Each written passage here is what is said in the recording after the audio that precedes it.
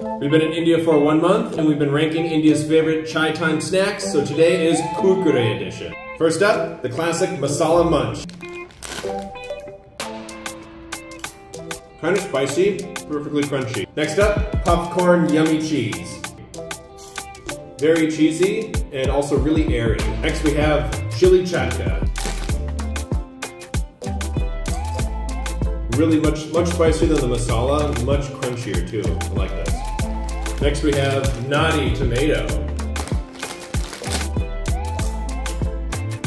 Really sweet, really tastes like ketchup when you first put in your mouth. Interesting. Last we have green chutney style.